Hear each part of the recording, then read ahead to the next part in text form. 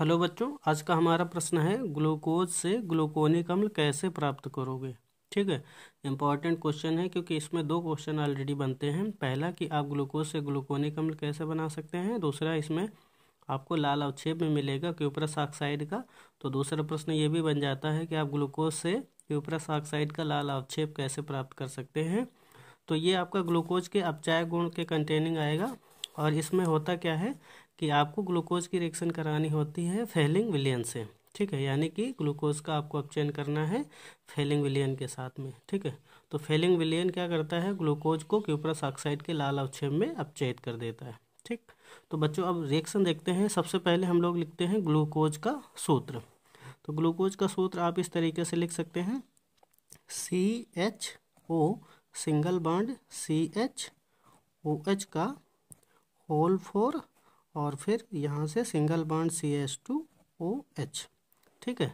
तो बच्चों, ये हो जाएगा आपका ग्लूकोज का सूत्र। यहाँ पर नाम लिख देंगे ग्लूकोज। ठीक है?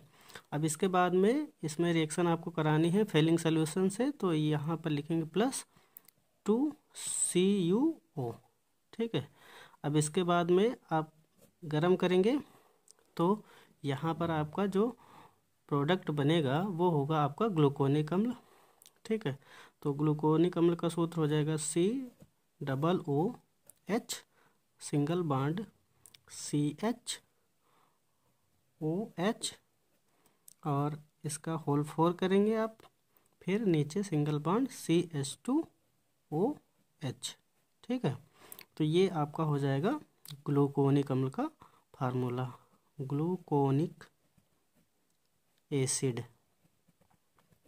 और यहाँ पर इसमें साथ साथ में आपका क्यूप्रस ऑक्साइड होगा सी यू टू ओ तो ये हो गया क्यूप्रस ऑक्साइड।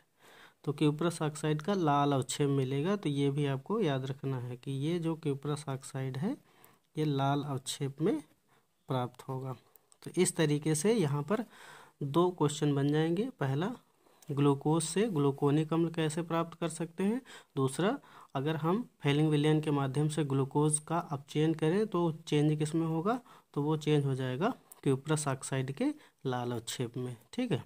तो दो तरीके से ये प्रश्न पूछा जा सकता है, इम्पोर्टेंट है, आप लोग इसका रिवीजन कर लेना, आपके लिए बेनिफिशियल सिद्ध हो सकता है।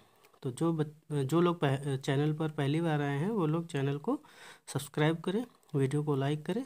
Thank you, everyone.